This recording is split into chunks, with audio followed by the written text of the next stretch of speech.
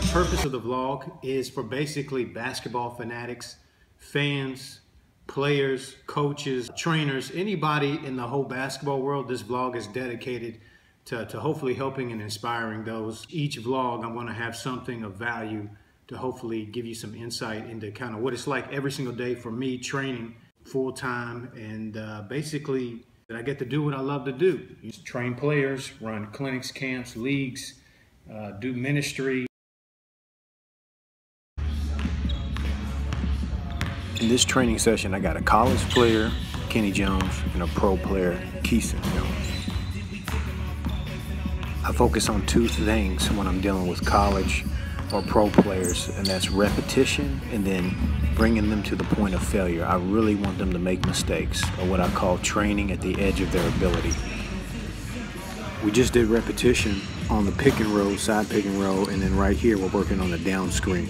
So today is just about shooting reps. So I'll usually ask, uh, especially pros, like what kind of shots they get, what kind of things they want to improve on, and then I'll find a way to incorporate that throughout the workout. Each player is different, so I do my best to customize each of these workouts.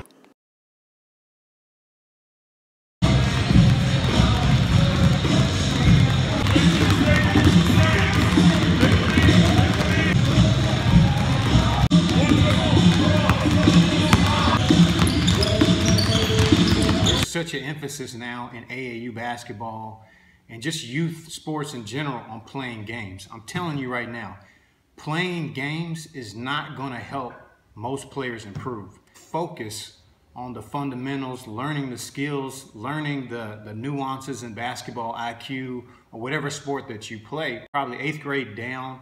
It's so important that they focus on skill development.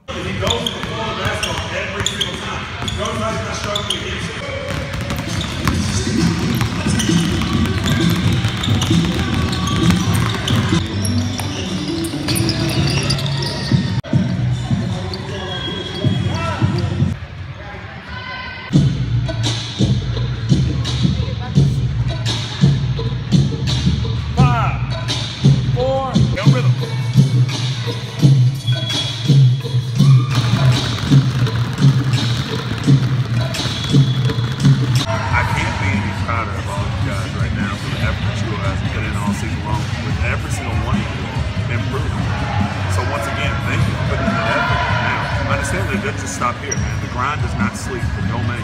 Understand that. And if you stop the grind, it's going to pass you right up to the next kid that's going to take your spot. Understand that? So just make sure that when you look to the left and right of you, make sure that one another and you all don't outwork one another. Understand that? Right? Listen close enough. Me! Me! I'm right here! You gotta get loud though.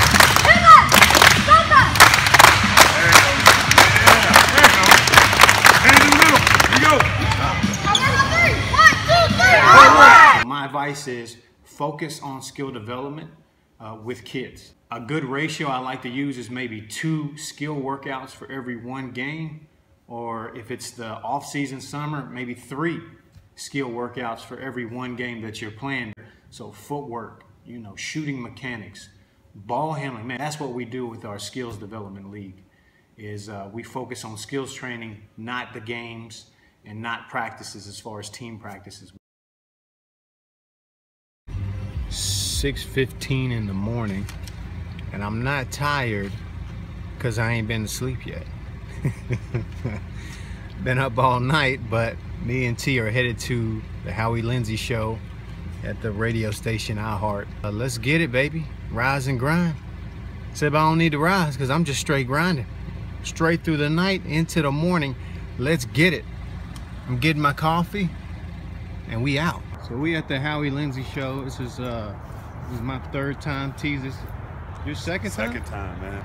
It's so early, bro. It's just black out here. Can't see nothing. It's just dark. It reminds me back in my uh, my U of L days, man, when we used to run on the track, just sprinting with flashlights in our hands. Super early in the morning, man. About to get it in. This is what the grind is about, man. Especially when you're trying to build something. If I ever took a loss, I learned a lesson. I won't ever think I'm better than the next man. I've been down before to come up, I ain't stressing. Baby, I'm too busy counting all these blessings. Yeah, yeah. Hear anything? I've got my basketball guys in studio with me. Uh, Terrence Farley, Phillip Morrison are here with me this morning for Hoops for Christ. But also, you, you train guys. You understand what, what good basketball looks like. You you, you Right, can right. you can tell me. the blessing to be able to play with him. And the thing about him is, just like I was telling everybody else before he was even called, I chose him um, because who better? I mean, if you remember correctly, man, he was a point guard in the post. Yeah. He could pass, you know, and he could, you know, just like Anas is doing now. Who better to coach this guy than DP? He Love what I'm seeing from Quentin Snider so far. Um, Phillip Morrison is here with us this morning. You, you work with guards. You you've, you've been you are a guard. Uh, when when Quentin says I work specifically on my quickness, my foot quickness. I I, I'm, Right. I work with a speed coach. I was, I was Working on your quickness, you know, the, the most important step in basketball is your first step. And then defensively, that lateral movement. So I can definitely tell, you know, his improvement over the years. And everybody knows he's a gym rat. just like we always talk about what iron sharpens iron, man. He's he's sharpened me in ways of being able to uh, how to speak to people, how to interact, and how to play the game as well. So I took some of that with me, uh, and I was able to apply to my own game, and it helped me along the way. Finally, you know, moving back to here uh, in this moment right now. All right, we've got to take a break. I've I've run out of time with these guys. Coming up next, uh, Paul Sykes is going to join us here on the Big Show. Cards Radio 790 KRD. Thank you, fellas. Thank you. Thank you. Try your hot chocolate today. Oh my goodness, Brooke. this just looks lame now. Cool story about Howie Lindsey. So Howie Lindsey has the number one radio show for the University of Louisville uh, sports program. I honestly, I had no clue how big the show was because I don't listen to talk radio, and I just assumed, hey, I'm in there seven, eight in the morning, nobody's gonna be listening. Well, I was totally wrong about that. People were actually tweeting in to Howie Lindsey while I was on the show talking about Hoops for Christ. Pastor Stephen Webb of Dixie Valley Church was listening. Big U of L fan tweeted in, hey, how can I get connected to Hoops for Christ? Well, just through that, through the hustle of, of doing a show I thought nobody would listen to, connected me to this church and pastor. Now we train out of there. Uh, we've run leagues out of there now, training out of there every week, and just a great relationship. And so you just never know, man. You got to put one, one, one foot in front of the other and just hustle. You just got to hustle. We're by no means some big thing or established. We're in the beginning stages of just hustling, just 24 7 around the clock, networking with people. Uh, but the lesson to be learned there is, man, any opportunity take, any opportunity to speak to someone, to help someone, uh, to connect, just take that because you never know what it leads to. This is just one of multiple times here in the last couple years that God's opened different doors. But you got to be willing to put yourself out there, you know, take the risk, and most of all, put in the work. Otherwise, there's just there's no hope. There's no hope at all for you. I'm sorry. Just turn this off now. Just got done shooting this Halloween uh, dribble video for fun. My wife really pushed me to do it. So all credits to her. She's the one that's making me do this. But yeah, check it out. Are you ready? Yeah.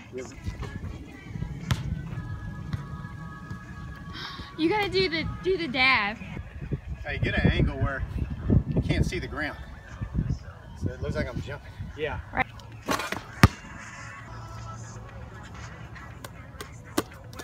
Oh, feel. Keep walking. Pause. Keep pausing. Now turn around slow. Got it.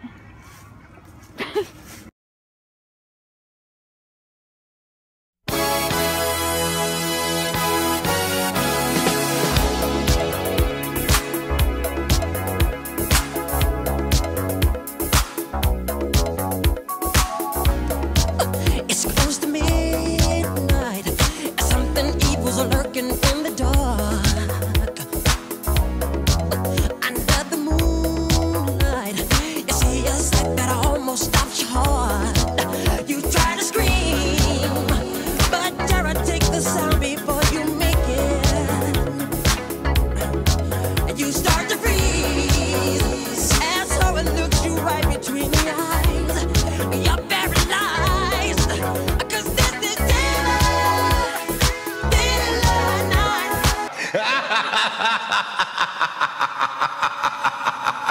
Okay, guys, thank you for watching this first vlog. And I mean, I am doing a total startup on it. I hope you like what you saw. Please subscribe below. Write me some comments below. Share this vlog with other hoopers. I'm going to continue to show you more workouts, whether I'm working with kids or pros. Keep hooping out there. God bless. I'm coming back at you in a week. That's a cut. That's a wrap, baby.